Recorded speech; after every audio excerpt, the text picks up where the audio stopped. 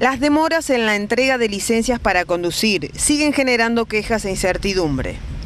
Desactivado en teoría hace más de una semana el conflicto en el área que imprime los carnet, los plazos aún están lejos de normalizarse y superan los 15 días. Lo cierto es que más allá de las garantías desde la provincia, quienes se acerquen hoy a los mostradores para altas y renovaciones de licencias en control urbano reciben como respuesta un regrese en dos semanas que conforma a muy pocos. Y yo lo veo tranquilo ahora, no, no sé, hoy a la mañana se habrá estado un poco lleno de gente, pero no, no, está tranquilo, parece que está todo normal.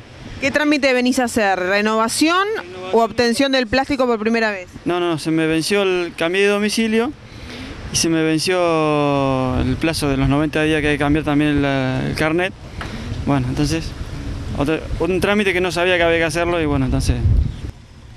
Además, denuncian los usuarios que se vienen registrando errores de impresión en varios documentos. José es un vecino de la zona sur y hoy se encontró con que en su plástico figura un domicilio erróneo. Y ahora deberá esperar una nueva impresión con sus datos correctos. Y no sé, la verdad que yo no, yo vengo hoy y no, no me, cortaron prácticamente de, que de, por la dirección de, un documento que tengo. Un error de impresión. Sí. Y como es, y ahora me tengo que ir a hacer todo el trámite, me quieren hacer todo el trámite de nuevo.